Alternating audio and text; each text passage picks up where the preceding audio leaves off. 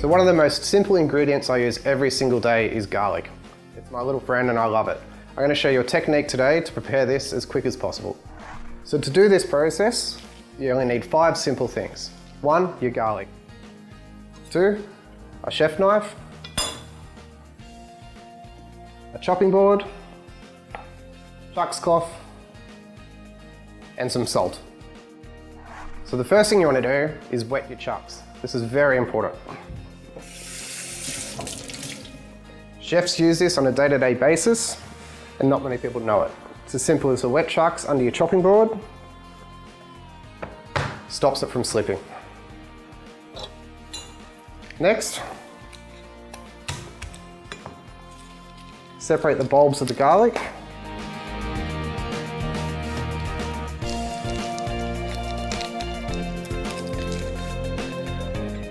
Using the side of your knife, just slightly give it a little bash.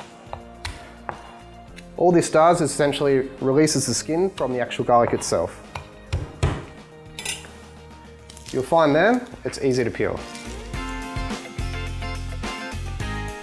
Once you've done this, just take your chef's knife and just roughly chop through the garlic.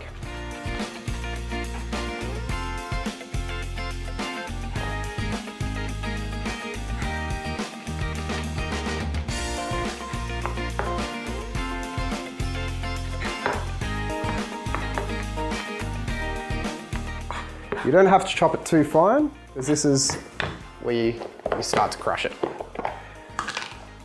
So a pinch of salt on your garlic. This makes it sweat and it makes it a lot easier to crush essentially and you get a nice smooth paste. So just run your knife through it a few times and then using the side of your knife, just start to crush it.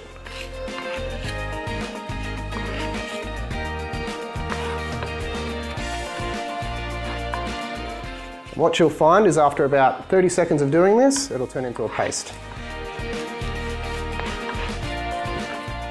You'll notice as well that my chopping board isn't moving.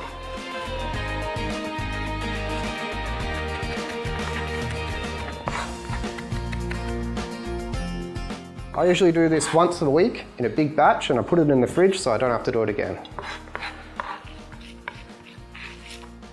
So once you've got your garlic paste, what I tend to do is I just mix a little bit of olive oil in it and it should last a week. I just use your everyday average olive oil. Australian made though.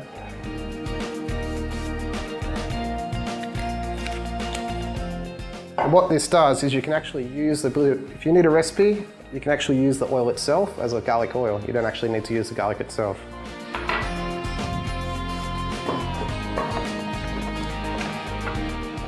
So a little bit of oil, cling wrap,